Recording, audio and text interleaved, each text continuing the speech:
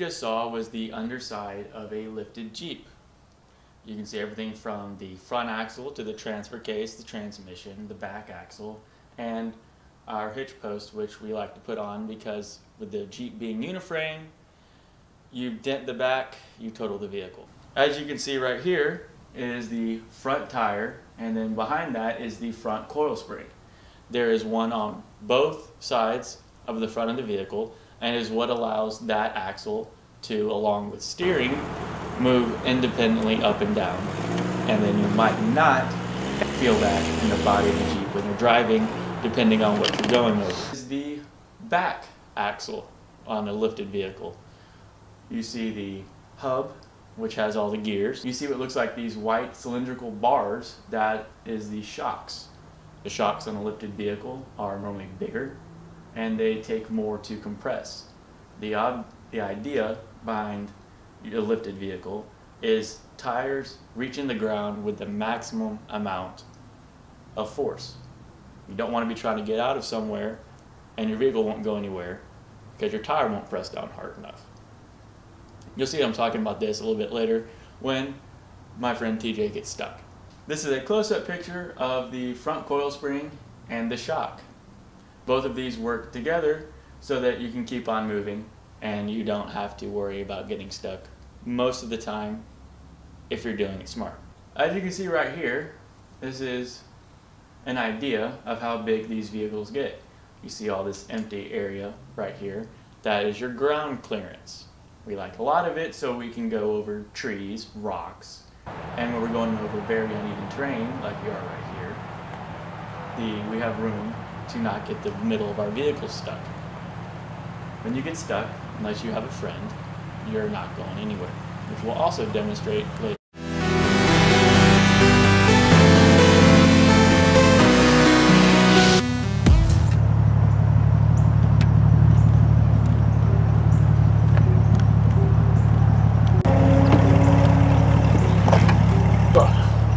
That is insane. Okay. Gonna hop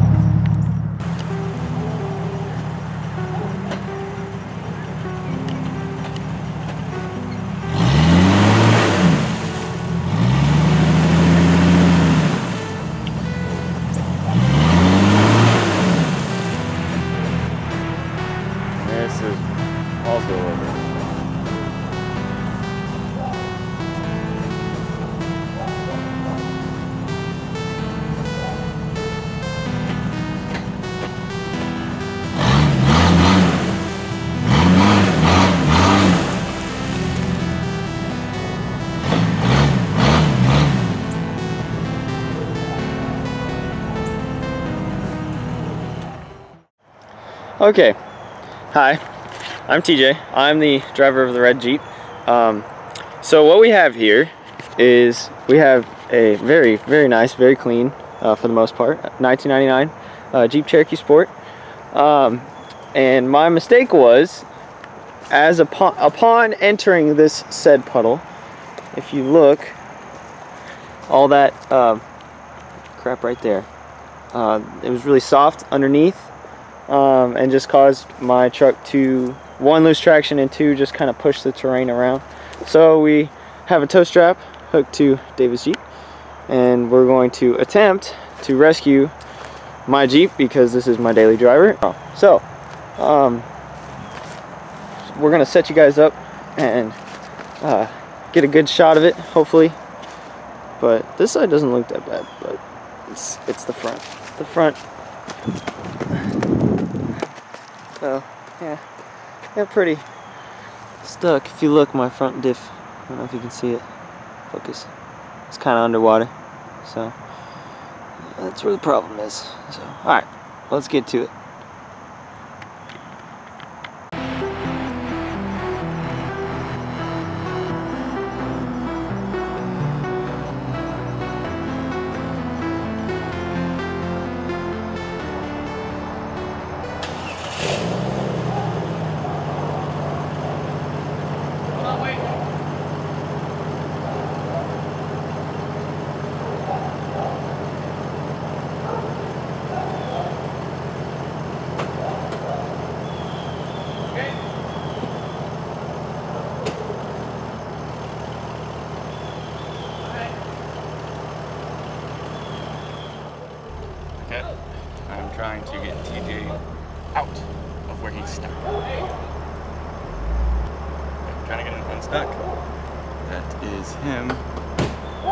Back there. See, started his vehicle, and uh, let's see how this goes.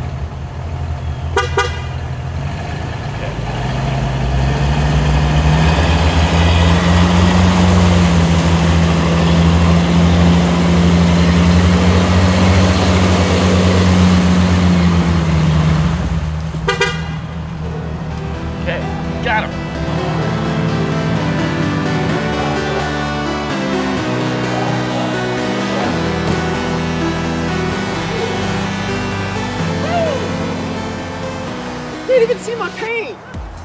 I can't even see what color my paint is.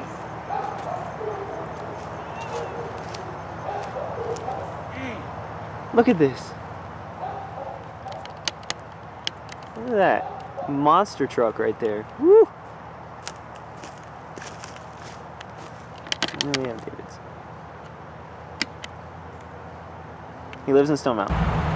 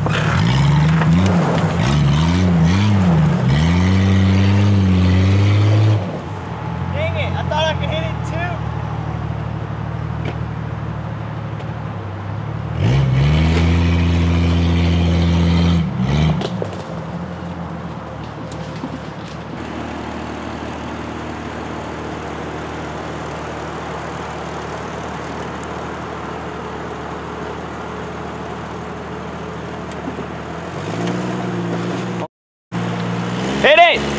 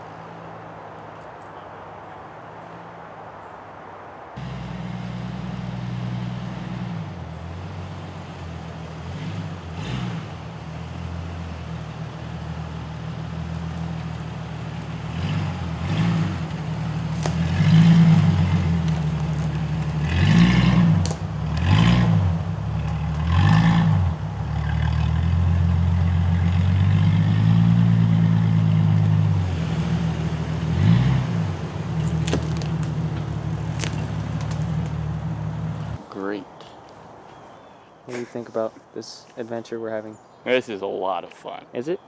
It's even more fun than it looks on camera.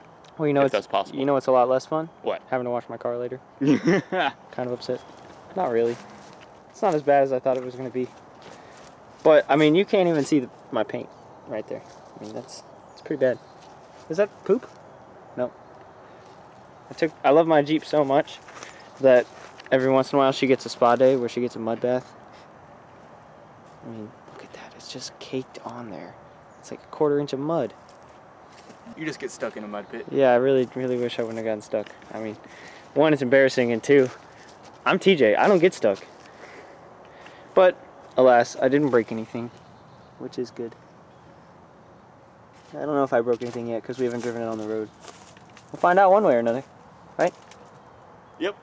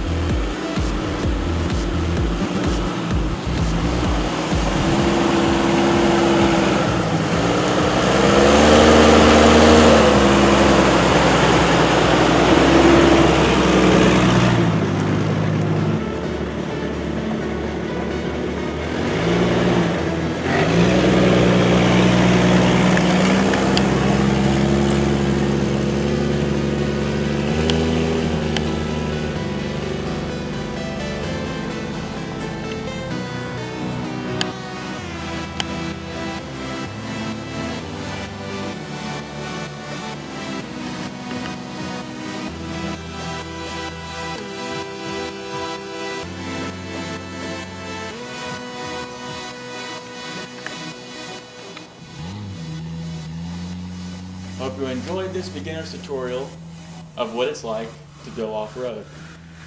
I also hope that my capstone class and professors that are also watching this decide to like what I've done this semester and give me a very good grade. I worked very hard on this and I had a lot of fun doing it. Thank you.